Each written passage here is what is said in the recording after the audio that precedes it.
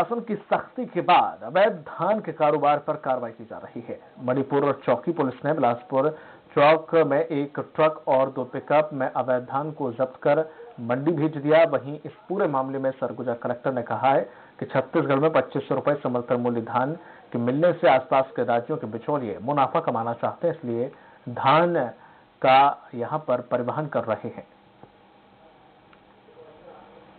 Checking के दौरान बिलासपुर चौक में दो पिकअप और एक चार सौ सात गाड़ी में अवैध धान परिवहन करके पकड़ा गया है। और जिससे पूछताछ किया जाए तो कोई कागजात नहीं होना बताया। मौके पर खाद्य अधिकारी भी उपस्थित थे।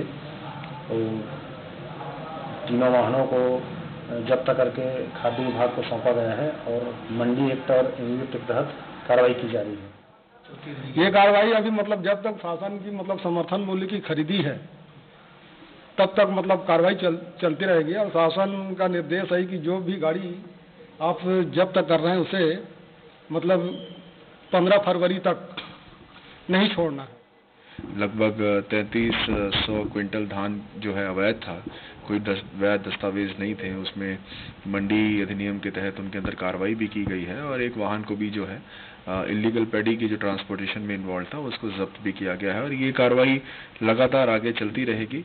और हमारा यही प्रयास है, हमारा यही कटिबद्ध प्रयास यही रहेगा कि हम किसानों को किसी प्रकार की असुविधा ना रायगढ़